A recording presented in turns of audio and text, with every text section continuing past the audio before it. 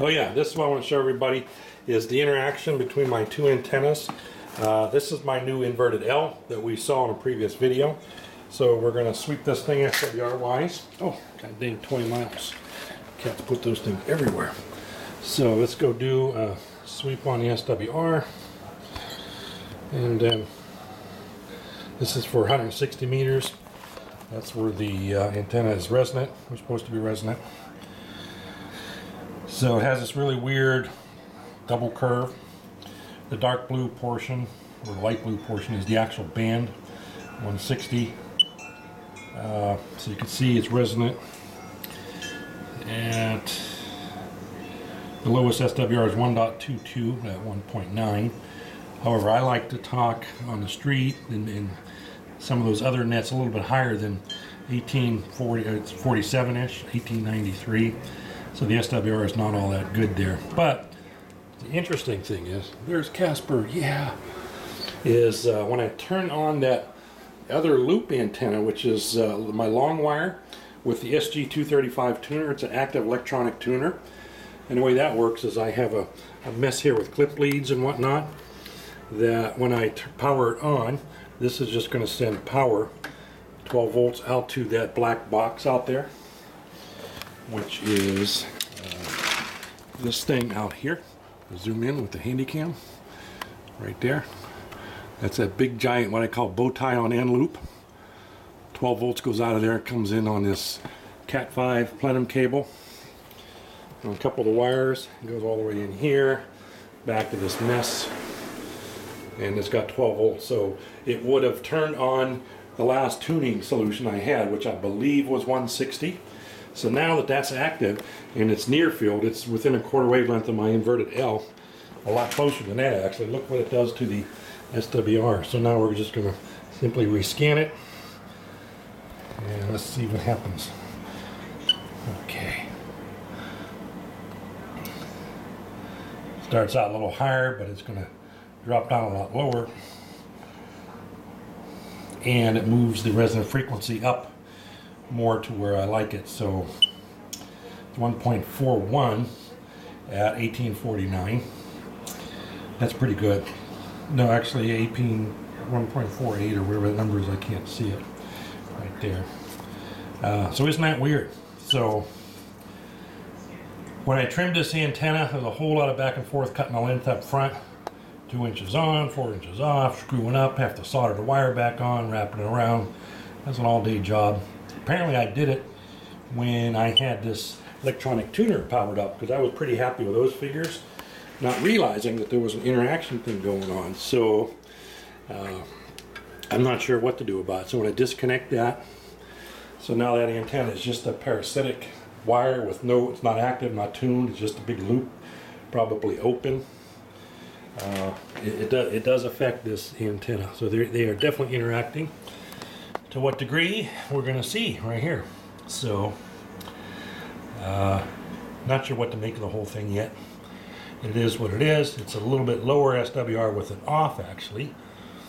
Uh, and it moved it, so that's a good thing. Uh, if and when I take that antenna down, I don't know what's going to happen. Uh, what my thinking is, and this is probably going to throw a wrench in the monkey works, is I want to get rid of that electronic tuner, not necessarily get rid of it, but take it out of uh, my main antenna because I do want to get a legal limit amplifier. This thing is only good for 500 watts. These SG tuners, I really like them. I like the Logic half million tuning solutions. This one's a little bigger because it does handle 500 watts, but it would be good for a camping, portable operation. Keep that back of the truck. I don't want to really get rid of it. But I want an arrangement where I can run full legal limit on both 160 and 80. I don't think I'll be able to do that with a combined antenna. Maybe I can, maybe I won't.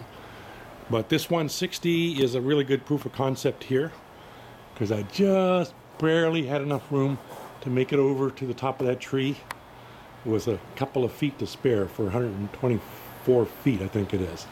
So my goal is to make this the 80 meter uh, inverted L. So there's about 43, 42 to 44 feet there, if I can get up in there, right there. So 80 meters would put that 30 three feet times two, 60. And if there's 40 there, that's only going to be 20 feet over So 20 feet extended on the horizontal section will be over top of my 40 meter, I mean, before where my 40 meter dipole starts. So this antenna, that's where the 40 meter dipole starts, or fan dipole, up on there. Uh, hang on, I know I'm not a good video photographer. Trying to look through this viewfinder. I don't even know what the hell I'm looking at here. Uh, anyway, you get the idea. Uh, so that this will make a better 80 meter uh, inverted L. And then I think I have a little extra distance with this back tree. And I'll do the same thing. I'll basically move this 160 meter over to there. I'll put a stay line in front of that big tree, which would put that, well, the canopy is pretty big, so it might drop down in front of the brick wall. Idealistically, I'd have it in front, right up in here someplace. I could build a little house for the uh, feed point. But the problem is, is that's going to put it right up through the uh, bulk of that canopy, unless I could zigzag it out, maybe pull it in a triangle. Uh, but that sounds like a good summer or spring project, so that's on the horizon. So when I'm doing that, I still want to be on the air for 160. Got some friends on 160, uh, so I don't want to lose 160. Uh, but I also don't want to lose 80. So I don't know how I'll do this. Maybe when I'm restringing that, I'll move that box over to the inverted L.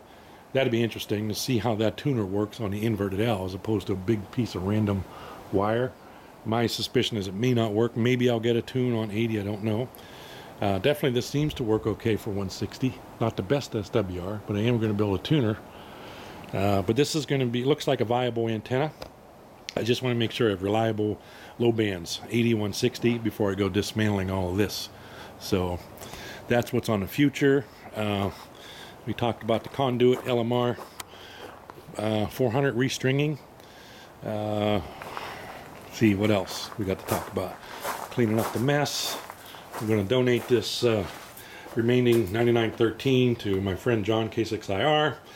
There's the weatherhead, uh, pull cord. So that's what we got. See ya.